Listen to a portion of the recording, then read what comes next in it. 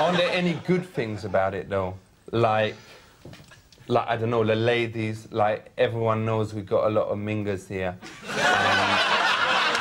And, you know, you get some Swedes, whatever, and because they is easier and less frigid than girls.